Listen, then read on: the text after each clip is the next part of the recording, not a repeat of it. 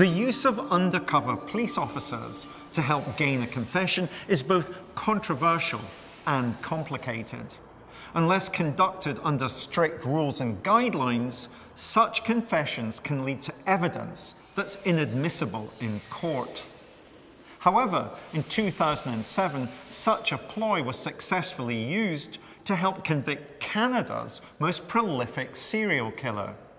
A pig farmer by trade, he lured women who worked as sex workers in Vancouver's red light district to his farm. There he imprisoned them, tortured them, and ultimately murdered them. Their bodies were either fed to his pigs or put through an industrial meat grinder. A search of his property found an asthma inhaler belonging to one of the missing victims and led to him being arrested on suspicion of murder. But he refused to cooperate at all with the police. As a result, an undercover Mountie posed as a fellow cellmate, and as they spoke, the suspect began to brag about the full extent of his crimes. Who is this killer who confessed after being caught in a trap? Robert Pickton. On February 2nd, 2002, Canadian police arrested Vancouver farmer Robert Pickton on suspicion of murder. For years, rumours had circulated about strange comings and goings on Pickton's pig farm. But as he was led away in handcuffs, few would have expected that those rumours would lead to something far more grave. The eccentric, scruffy farmer being labelled as one of the deadliest serial killers in history, and that the pigs would prove to have been his unwitting accomplices.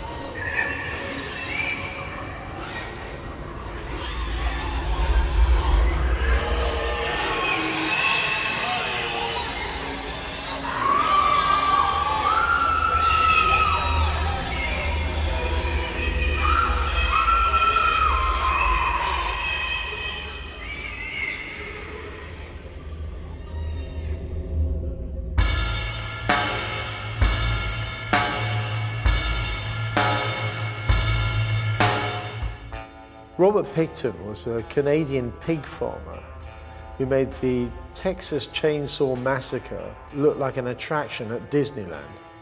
A rural farm in the dead of night. Dog barks and owl screeches. People down at the local bar playing pool, having a smoke. Rumours circulate. Pickton's killing people.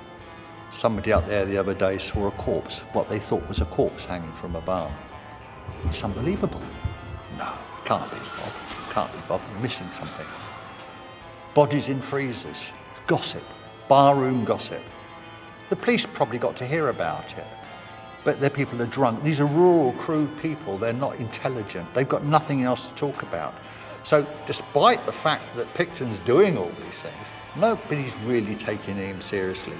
He's a farmer, he's crude, he's living on a small holding, it's a ghostly place to go at night. Wouldn't go there on your own if I were you, but it's rumours. Nobody can believe the truth.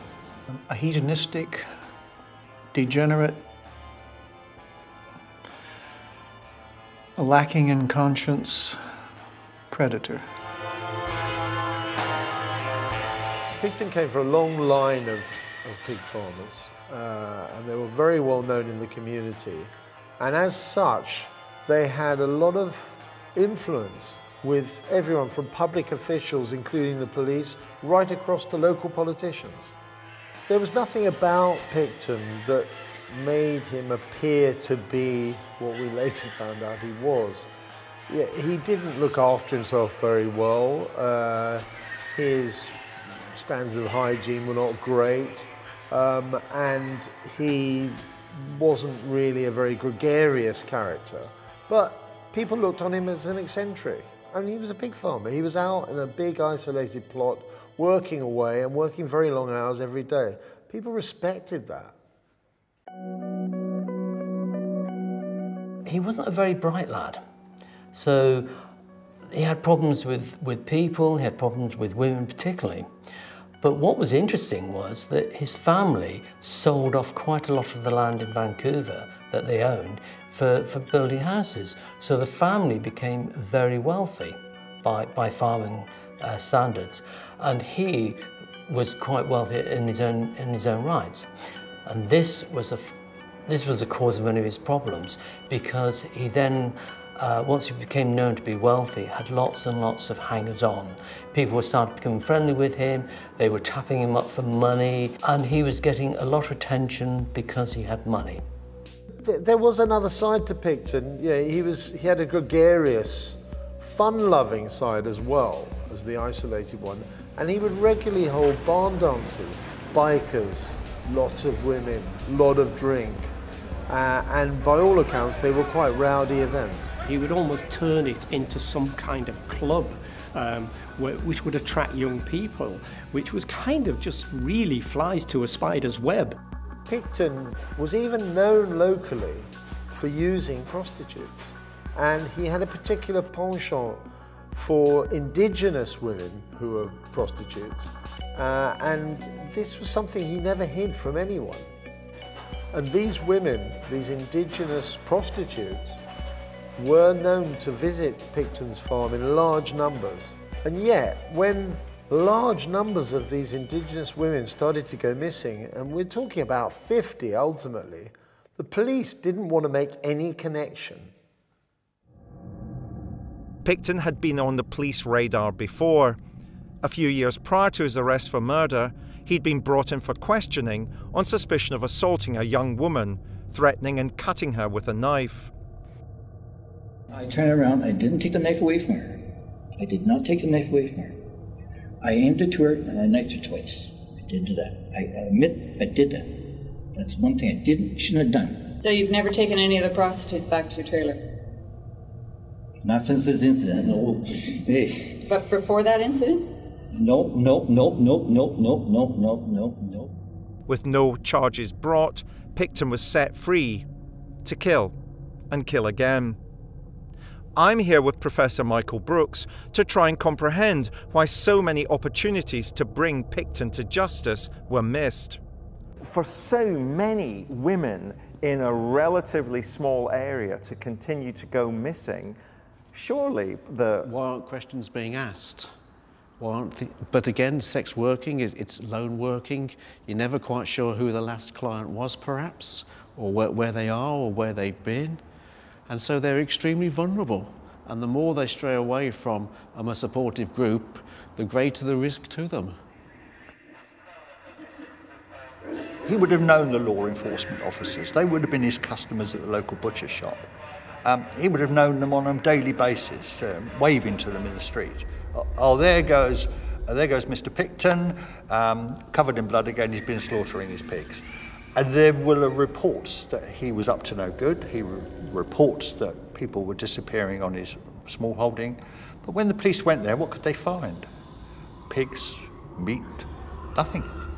Until one small item, an inhaler from one of his victims was found, which linked that inhaler to one of the missing women. And that's when the police started to take him seriously.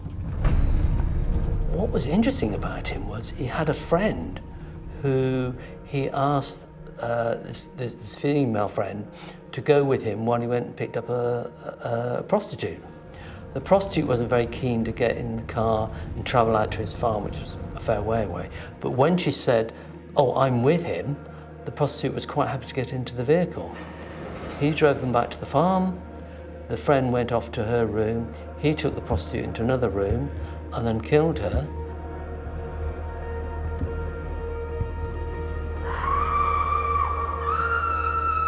The friend came down and actually saw him with the victim and she didn't report it.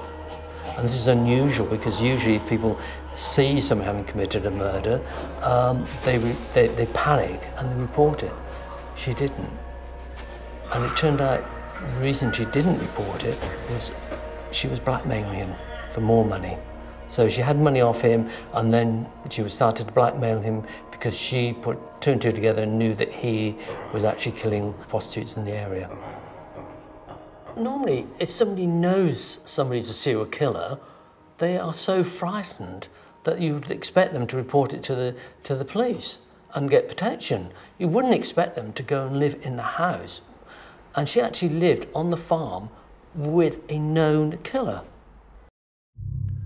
On his arrest, police questioned Pickton about the scores of women who had gone missing in the area. He proved to be sly and uncooperative. Police often use the tactic of showing a suspected murderer a picture of the victim. Um, or even, you know, the actual weapon that they found that was used. Um, this is supposed to provoke a reaction in that person to show that they recognize this individual. Um, this is totally absent when it comes to psychopathic killers, particularly at the level of Robert Pickton. Um, there's just not a glimmer. These are objects.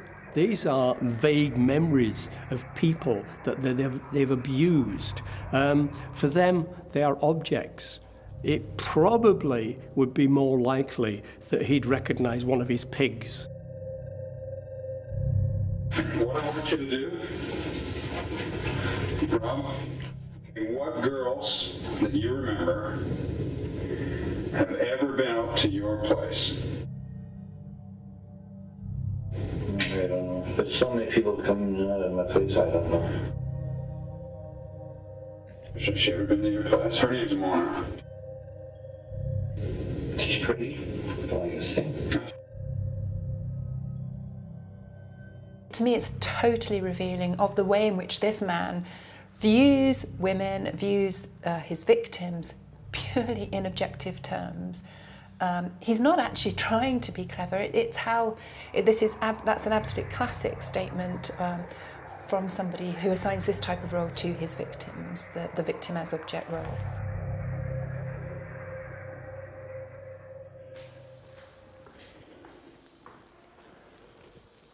Despite being shown a picture gallery of missing women who were presumed dead, Pickton didn't show a flicker of emotion. This lack of emotional response is one of the reasons psychopaths can beat the polygraph. His crass comment about one of the victims being pretty clearly demonstrates he was playing with the police, enjoying the power he held over them by refusing to confess. But sent back to his prison cell, Pickton must have known the game was up. Police officers were combing his farm and finding both DNA and physical evidence that demonstrated that many of the missing women had been there. Discovering that he had a talkative cellmate, Pickton began to talk himself, not realizing he was, in fact, speaking to an undercover Canadian Mountie.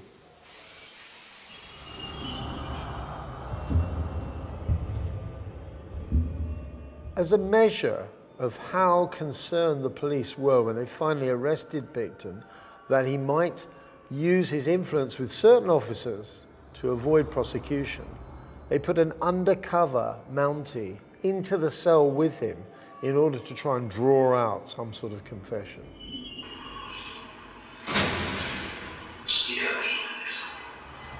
No.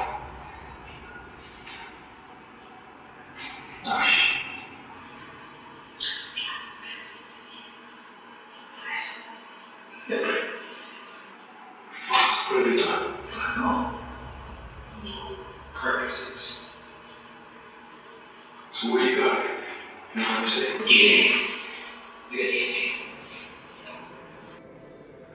The recorded interview still shows Pickton being very defensive, not revealing very much, but ultimately just revealing too much detail that would actually incriminate him. He's a depraved social isolate. He doesn't have the skill set to kind of have normal dialogue with someone else. You could see him struggling with that. And the things that he does say, which are that that um, incriminate him, are are fragmentary and and reluctant, gained with reluctance. Incredibly, Pickton began admitting to his many crimes very quickly after this Mountie was put undercover in his cell. It sort of shows us that Pickton saw it as not even being important, that there were not just five women, not just 10 women, but 50 or even more women that he'd killed in cold blood. And yet he talked about it in a bragging way. It was almost like he was showing off about the, his life in some way, about his possessions. And in a way, those women were his possessions because he'd ended their lives. So they were his ultimate possessions.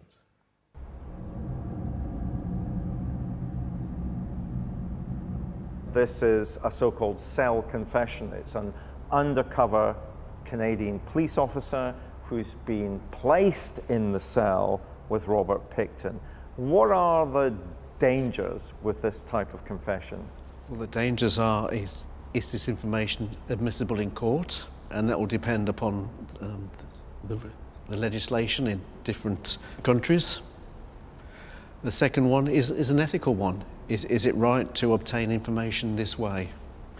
And the mood matching of the, the Mountie, the police officer, he uses language, he uses slang, he swears a lot. Why is that mood matching important in relation to Pickton? Because he wants to gain the confidence of Pickton. He wants to say, I am the same as you. You can confide in me. You can share with me. I am like you. If you're interviewing somebody, you've got to use language they understand. If you're playing the role of a fellow convict, then you've got to talk about uh, a convict in the language that the convict will understand. It's no good you being a police officer or an interviewer. You basically have to go undercover, actually adopt all the characteristics. And that's actually very hard to do, um, to actually go undercover uh, and, and, and adopt that language and talk about uh, sexual behaviour and devi deviations that the police officer may not agree with or may not like. And he's actually got to sell his soul and pretend to enjoy all the deviations and everything else. And in some ways, be more deviant than the suspect. So that in, in a way, it makes the suspect uh, feel more likely to, to ex, uh, explain his behaviour, more likely to confess his behaviour, because the guy next to him is even weirder than he is. This very lengthy um, transcript of the conversation between the undercover officer and Pickton um, rambles on, but the officer does a very good job of taking the subservient role, allowing Pickton to brag, to encourage him. It, it was almost as if he was really um, a petty criminal who was in awe of this killer um, and allowing Pickton to take that narcissistic role and reveal more than he should. The way that Pickton was drawn out into admitting these crimes was fascinating in itself. We have the Mountie, the undercover officer, uh, challenging Pickton almost, saying, well, you know, if I was going to get rid of a body, I'd push it over the edge of a boat into the sea. And Pickton cuts in, no, no, no. I, I know much better ways of doing that. You wouldn't believe what I did. Bang, he's caught. Five guys away. I find the best way if I can just something so I can dig in the ocean. Oh, really? You know what fucking ocean is this? You must love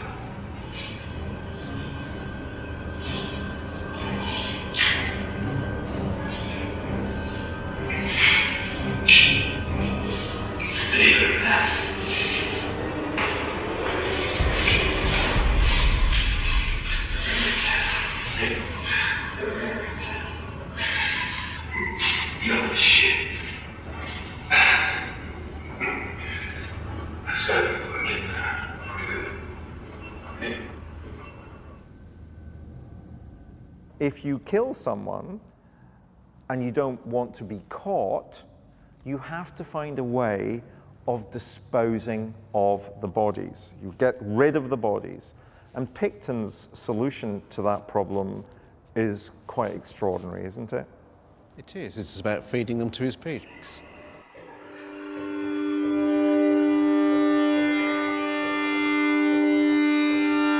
He would pick up women, usually prostitutes, uh, bring them back to the farm.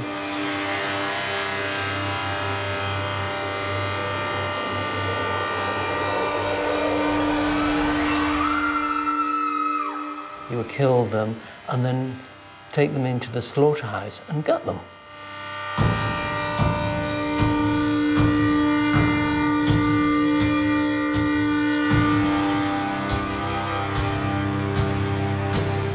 Pickton actually offers the information that on his farm he has a rendering plant and that that would be an ideal way of getting rid of bodies.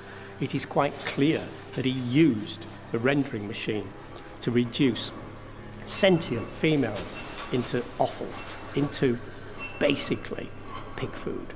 He was just not distinguishing between human beings and the animals from his farm who would also enter there. And what people don't realise is a, a, uh, uh, a, leg of a human being looks very similar to a leg of pork. So you can pass people's body parts as, as, pig parts. And if, you, if you're producing mince or something like that, you wouldn't know whether it was pork or human being.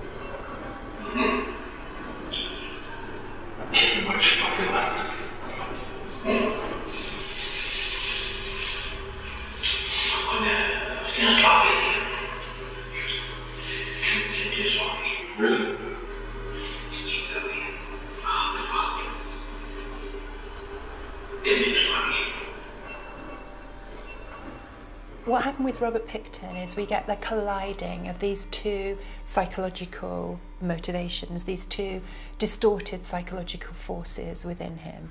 One is this entirely egocentric, heroic narrative driving him to simply view uh, carrying out the murders as a game, as a challenge, um, with no consideration, no awareness even of the consequences. The other psychological force that we get is somebody who uh, is so completely devoid of any kind of human empathy that he does not see human being, he does not see people as human beings in any sense at all. Um, hence we get the reference to the bodies as carcasses. For him, these are simply um, objects. Um, with some of the, the most depraved uh, serial killers, what we the, the underlying narrative we see is one where they assign the role of an object to their victims. Um, we call it the victim as, as object um, underlying narrative. And for these offenders, um, they have no awareness whatsoever of their victims as human beings. Um, they are entirely objects with whom to play. And it's very typical of this type of offender that we see them um, playing with, messing with the, the bodies post-mortem. Um, it's an extension of the fact that they see them as objects. To them, it matters not if the person is alive or dead, uh, only that when dead, they can do more with the bodies. Um, and this um, preparedness to play with the body, to mess with the body, to chop the body up, um, is very typical of this type of offender. This victim as object, underlying narrative role assigned to the victims. By feeding his victims to the pigs, Pickton has accidentally stumbled upon almost a fail-safe method of getting rid of bodies. And that's probably the most chilling thing of all, because there's nothing left of them, literally. And he's doing it by using the very animals who make him his living become his accomplices in these killings. Pickton slaughtered his victims and fed them to his pigs. He reduced their body parts by putting them through an industrial meat grinder. Pickton's pigs foraged so furiously on the human remains that no trace of the victims were left. Even when police forensic teams combed the farm for DNA, little evidence was retrieved making Pickton's pigs his perfect partners in crime.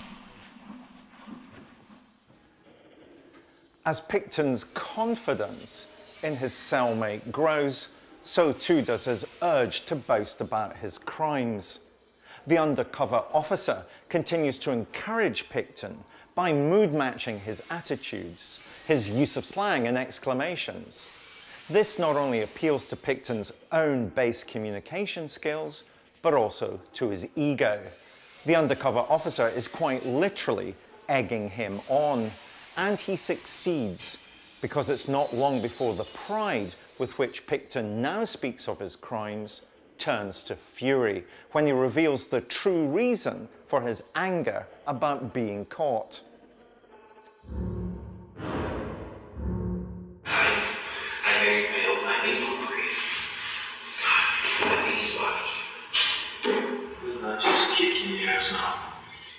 During the conversation with the undercover officer, um, one key element was where they touched on the idea that there were 49 victims.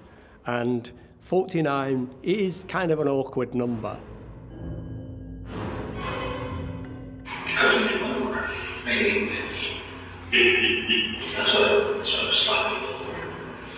That's We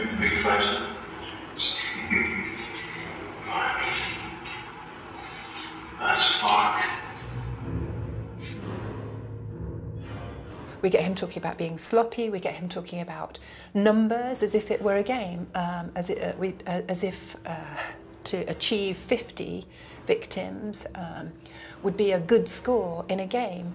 Um, this is all. This all speaks to me of somebody who, for whom this is just a big heroic challenge, and he's showing that he can do it.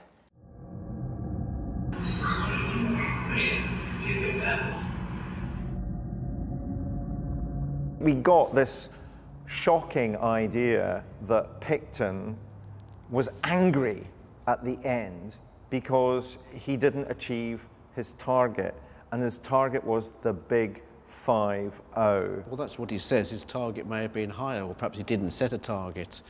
You know, 50 has a nice ring to it, but if he got to 50 and hadn't been caught, would he have then wanted to go on to 75? Would he want to have gone on to 100? So, do you think he was just trying to show off to the undercover police officer at that point, his cellmate? Is that what he's doing? He's just literally. A bit of bravado. It's bravado. He's making it up. And saying, actually, I'm irritated by this. But he probably is more irritated by being caught. But it pisses me off. You know, it pisses me right off. I should promise. They're just, they don't have nothing but nothing. I think he was generally annoyed that he didn't reach 50 because that's quite a big uh, figure. Um, but I don't think he would have stopped.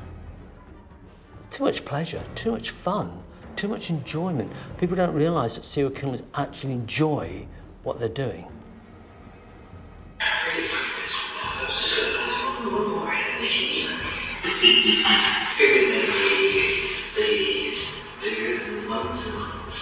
Yeah. Yeah.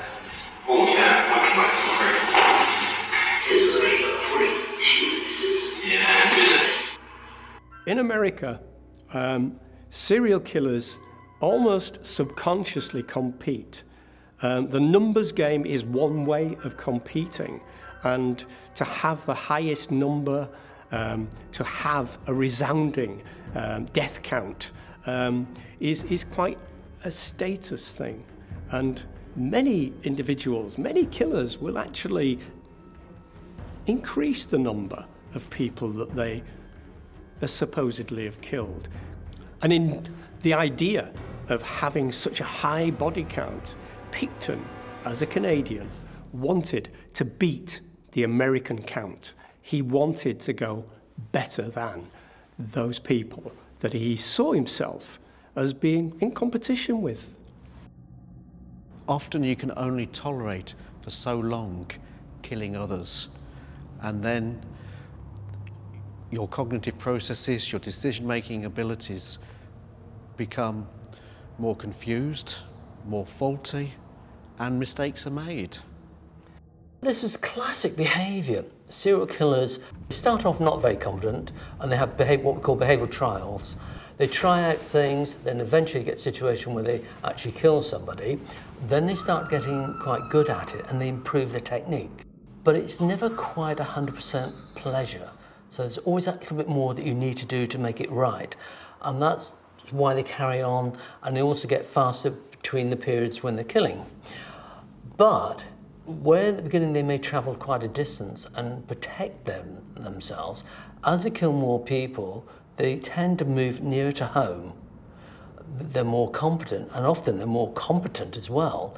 And they also know that the police aren't uh, tracking them, so therefore they become more relaxed and then they start to get sloppy. And it doesn't matter what kind of serial killer you look at, you can see quite clearly as time goes on, they start getting overconfident. And that's when they make mistakes.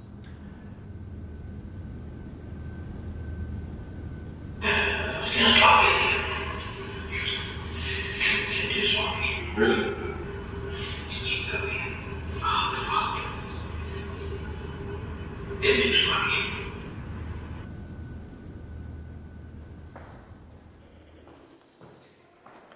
In 2007, a court found Pickton guilty of six counts of second degree murder. There was enough evidence to charge him for a further 20 killings, but prosecutors decided not to because he'd already been given a maximum life sentence. His police cell confession is a startling reminder of how many murderers can't resist the urge to boast to other criminals about their crimes. But it's also a sobering reminder that the person they're boasting to may be on the right side of the law and that their confession may be recorded, providing damning and irrefutable evidence against them in court. This technique of the police to have put an undercover Mountie in the cell with Pickton is highly questionable. It makes us wonder whether his confessions were drawn out of him under false pretenses, um, and whether this is a method which, you, which is used so often in these sort of cases that is actually viable, that it actually stands up in court. Of course, it's resulted in these prosecutions, but we have to question the methods, and we have to wonder whether a person admitting something because it's drawn out of them in a slightly false set of circumstances is the same as someone sitting down and confessing to a crime. The crimes of Pickton have had an even wider effect in, within Canadian society because they're looked upon as reflective of the way that the indigenous population have been treated, particularly indigenous females who work as prostitutes. How many of these victims did he really kill? Because it's not even clear to this day that every single one has been tracked down and accounted for. And that tells us a lot about the attitudes in Canada towards the indigenous population as a whole.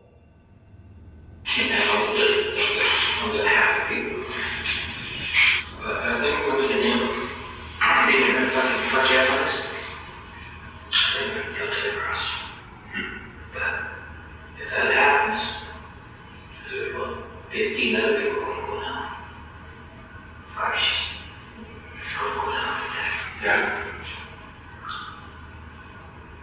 I thought they were my friends. I thought they were my brothers. Doesn't tell you the verse.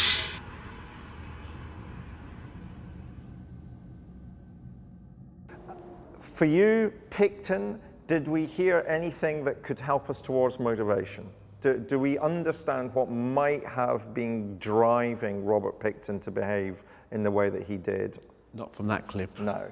I, I, I myself felt that we were simply dealing with um, a man in a particular set of circumstances describing to his supposed cellmate why he, um, what he had done. And perhaps that's the difficulty with undercover confessions. You'll get the confession, but you won't get the real reason. Because actually, if the undercover officer then starts to move into that territory, then actually the offender will become suspicious. Who's asking these questions and why? This is getting a bit too deep for just two mates having a conversation, because mates don't necessarily go into that level of depth. You need to be sort of a, a professional probation officer, psychologist, um, psychiatrist, police officer, prison officer to begin to ask those sort of questions. and therefore the offender would immediately become suspicious because that's not what normal mates do. For this type of offender, there's not necessarily any reason beyond his own entirely ego driven need uh, as part of this heroic narrative to show that he can do it, to show what he can do. For him, it's um, this is the purest, the, the raw, rawest form of heroic narrative. It's not about anything other than um, Robert Pickton rising to this challenge, showing that he can do it. That's why, given the first opportunity, he will want to brag about it, he will want to talk about it. It's all about bravado, it's all about demonstrating his manliness, demonstrating his skill, demonstrating he can do it. There's no other reason for doing what he's done. There are three things really which I think um, psychologically are really um, interesting about Robert Pickton. One is the uh, absolute uh, assignment of the victim as object role to his victims, the way in which he does not in any way understand their humanity and, and is complete it has a, an absolute empathy deficit in relation to other people. A second psychologically interesting facet of, of Robert Pickton is the way in which he has positioned what he's doing as this heroic adventure, him versus the cops, him showing that he can do it. And we get a number of um, statements within the uh, discussions with the undercover officer which show us that this is how he's seeing what he's doing. We get him talking about being sloppy, we get him talking um, about um, whether or not he can beat the previous score of the victims in America.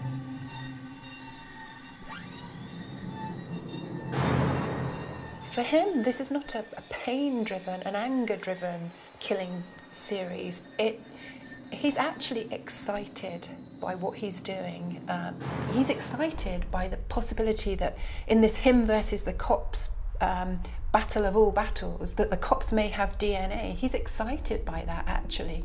Um, it ups the ante, it up the ups the stakes for him. Um, and that's what he's all about, this, it, him showing that he can meet this challenge. Um, it's one of the purest forms of disturbed, destructive heroic narratives that I've ever seen.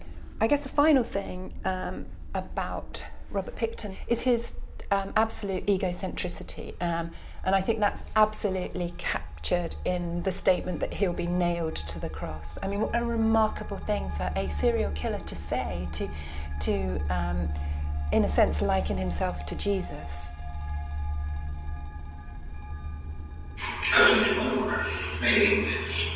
Maybe that's what.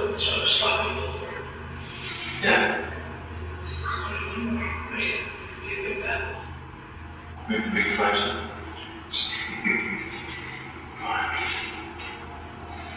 That's Mark. Murder on television and in the movies now is, is such a commonplace form of entertainment of putting bums on seats that we sometimes miss the whole point of uh, homicide, brutal homicide, getting down and dirty with it. And I try to get behind that uh, because we do not understand the terror and the pain and suffering that these people cause. And I try to put myself in a bit closer than that, but what I try to think is if it was my partner or my daughter had been invited to a party at Pickton's pig farm with a lot of other revelers and getting drunk and having a bit of a time, quite innocently having some fun. And then all of a sudden, this man drags her into an outhouse, rapes her, and starts beating her and slashing her and torturing her, probably hanging her up half alive in a barn to die.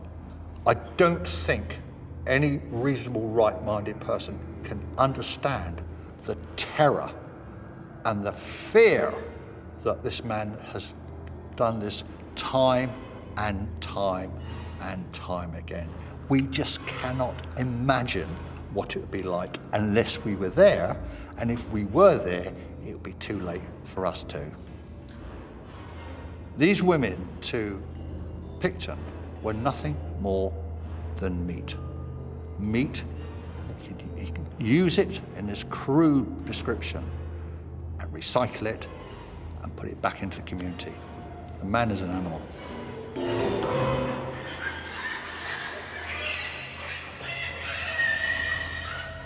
He had um, geographic isolation. He had um, a skill set as a pig farmer. Um, he had personal, interpersonal isolation. He had emotional detachment. He had um, failed to acquire either a personal or a social conscience. So those are crucial elements for him that, that enabled him. Uh, I mean, he had the opportunity. He actually set up the circumstances in these raves that they were having um, to, to lure effectively a kind of steady stream of prey for him. So, in that sense, I don't know how much of it was a conscious effort on his part and how much of it was just circumstantial good fortune as far as he was concerned.